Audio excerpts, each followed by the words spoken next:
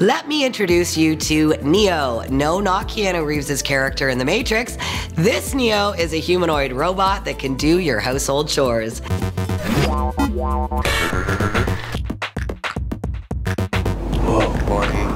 It's the brainchild of AI and robotics company 1X, and it sounds like it could actually be pretty useful.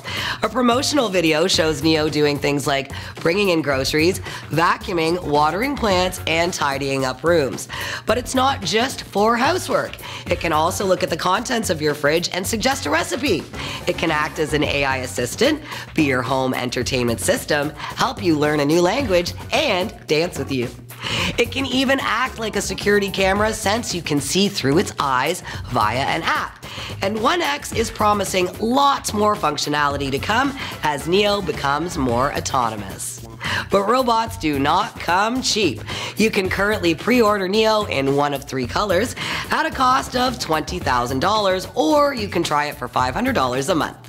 Delivery is expected sometime in 2026. So start saving up.